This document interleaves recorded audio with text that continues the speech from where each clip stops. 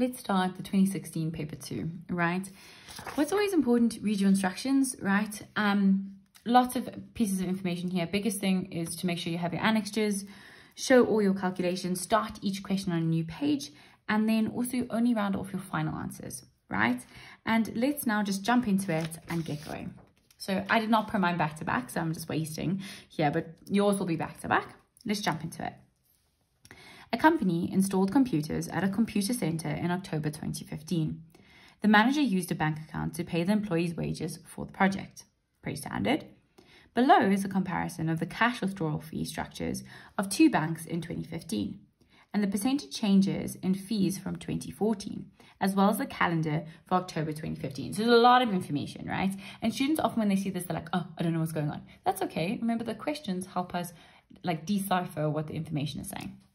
So there's banks X, there's bank X, banks Y, right? And here is the 2015 fee and it talks about the change from the 2014 fee. And then we have a calendar here. Okay, so let's just go and read what's going on. Importantly, employees do not work over weekends. That's lovely, right? The way it should be. But let's read through what is being done here. 1.1.1. Okay, well, first it says use the table in the calendar above to answer the following questions. Determine the probability of randomly selecting a workday in October 2015 with a day that is an even number. Okay, so even, even, even, even, even, even, even, even, even, even, even. Okay, so remember even, a number is even if it can be divided by 2, right, without a remainder. So 1, 2, 3, 4, 5, 6, 7, 8, 9, 10, 11. Okay, so there's 11 that are even, right? Basically, they can be divided by 2 and there'd be nothing left, right? So if I said 18 divided by 2, it would give me 9, right? Every number that isn't even is odd by definition, right? So it can't be divided by 2 without having a remainder. Let's see how many um, odd ones there are. 1, 2, 3, 4, 5, 6, 7, 8, 9, 10, 11. So there's 11 odds and 11 evens. Wonderful. Right, so in total, there's 22 days. 11 of them are odd, 11 of them are even. It asks us for the probability of randomly selecting a workday in October, which is even. So we're going to say question one, right? Question one, starting on a new page, 1.1.1. 11 ways of being even, right? And there's 22 different days we can choose from um, and that is 1 over 2 or 0 0.5 or 50%. Now you could be saying, yo, Molly, how did you do that? Well, you can actually just do this all on your calculator. So 11 over 22, right? That's where we got 1 over 2. Press this little button, S to D, right? 0, comma 5. If you want to make it a percentage, we always times by 100 and it's 50%. So you can write it as any of those answers. Okay, let's move on to the next question. So this is sort of like your first question. So a lot of this is sort of not basic, but it's it's fairly um, sort of intuitive how to go about it.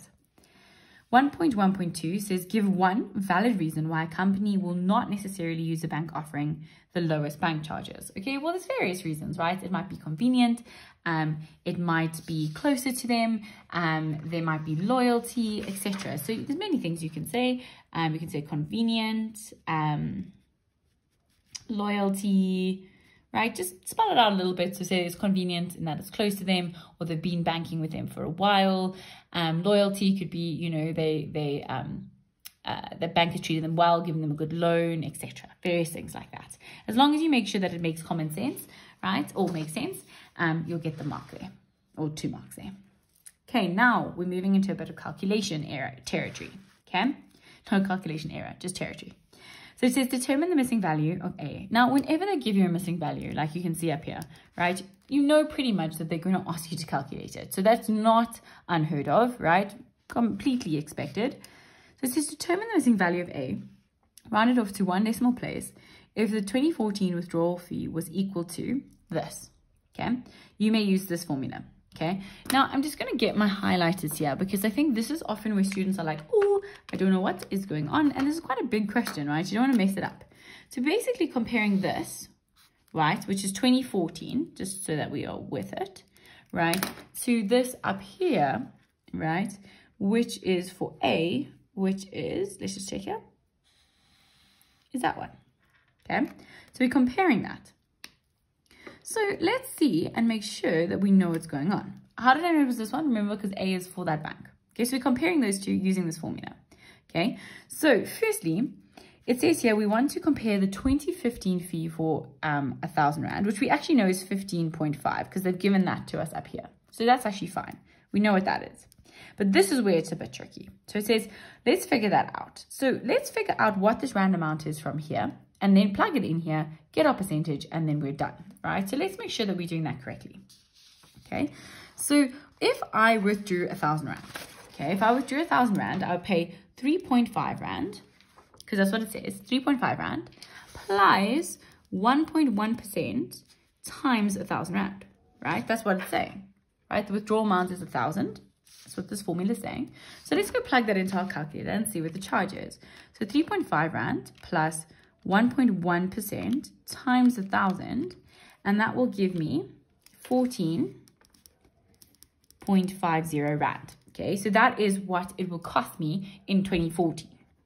Okay, so that's 2014. So now we have 2015 and we have 2014, so we're a either way. So we're going to see, say, just so that you're with me, so we can take 15,5 over 14,5 because we just worked that out, minus 1 times 100. So we're going to put that in. 15.5 over 14.5 minus 1. Remember the brackets, right? Students often forget these brackets, okay? Minus 1. So then we say 15.5 over 14.5 minus 1. Now, after just telling you to remember your brackets, your girl Margie just forgot them. So that's a little bit tricky. But anyways, now I fixed it, right?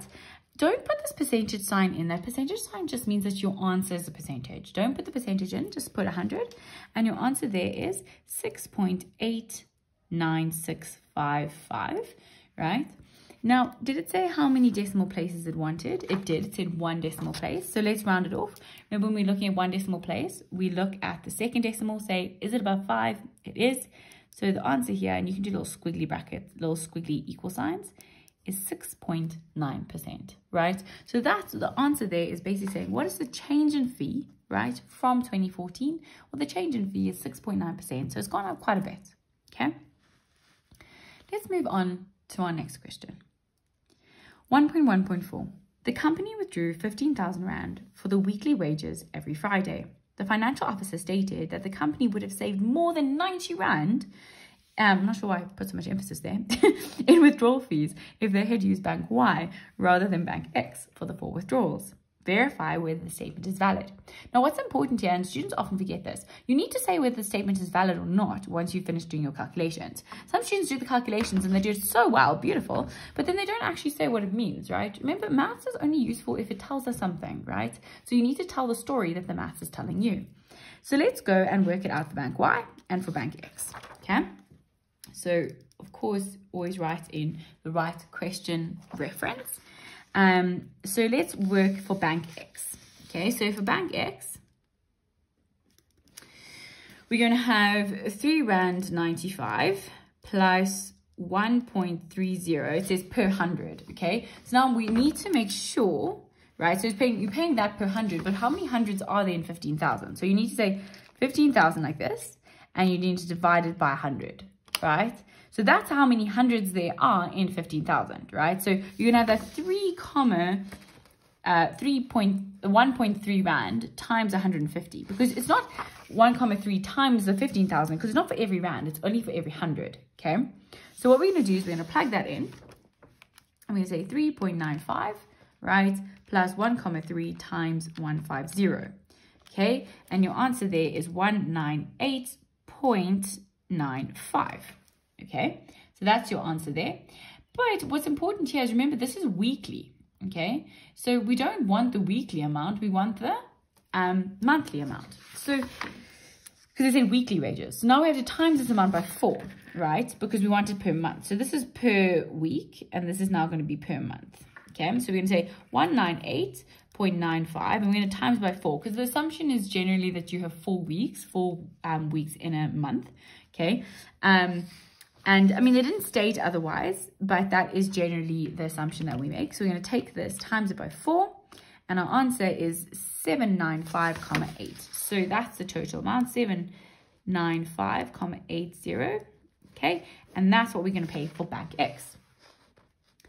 Now we need to do the same thing, but now for Bank Y, right? Because in, for Bank Y, it has a different charging structure. So it says here that we have 4 Rand plus 1,15% of the withdrawal amount. The withdrawal amount being 15,000, right?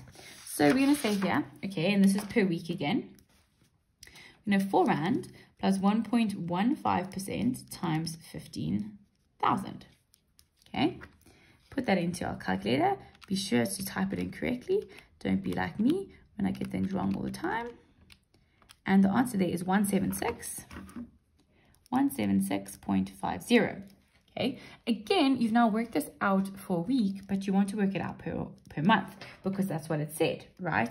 It says that this, this financial officer said they could have saved 90 Rand, right, for the four withdrawals. Oh, that's good, actually. Look there. They told you exactly that it's four withdrawals in a month, right? So be careful to read your answers carefully. So we're going to say 176.50.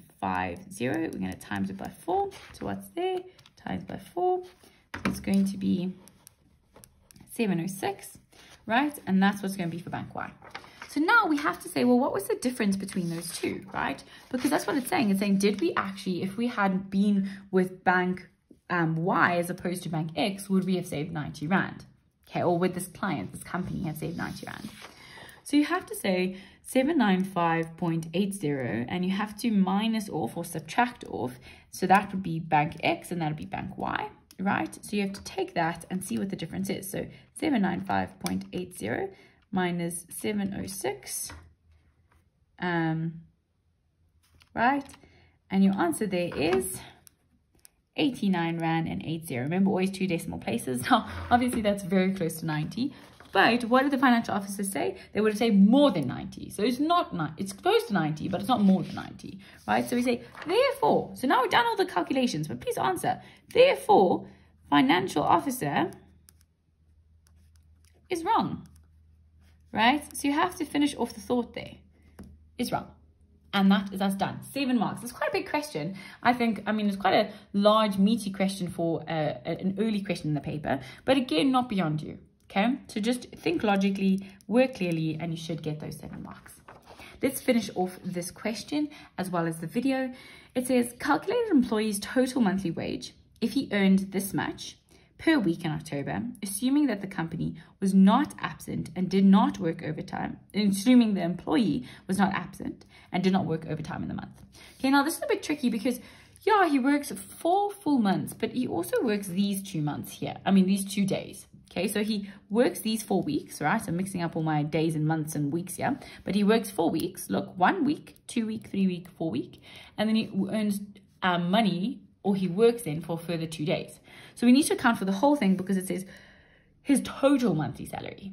Okay, so it's easy enough to now work some of this out. So we're going to say, okay, well, four, right? And this is for the weeks, the full weeks we know. 2142.85. Okay? 4 times 2142.85. So we do that. And that gives me 8571.40. So that's what he earns for these three, these four weeks here. So we've accounted for that. Okay. But now we need to account for these two. Okay. So we need to account for these two and we're going to keep going there and just check whether we understand how we're going to do that. So now this amount that he earns in a week, right? He's not going to earn that full amount. He's only going to earn two over five of that amount. Okay, so we need to be careful there. So what we're going to say is we're going to say, okay, what is 2 over 5 times this? Okay, because only 2 of the 5 days. That's what he would have earned for 5 days. It's only 2 of the 5 days. So we put that into our calculator. 2 over 5 times two one four two comma eight five, And we have that amount there. Okay, so now we have to add those two together because that's what he would have earned in the month. So we say that plus 8571.40 and that is what he would have earned in total. So we add those together. So in total, he would have earned this in a month. Okay, so be careful there. Here they're testing your understanding of weeks and months, but also your understanding of fractions right? So that should help you get your final answer. That's us done for the video um, and we'll move on to the next question.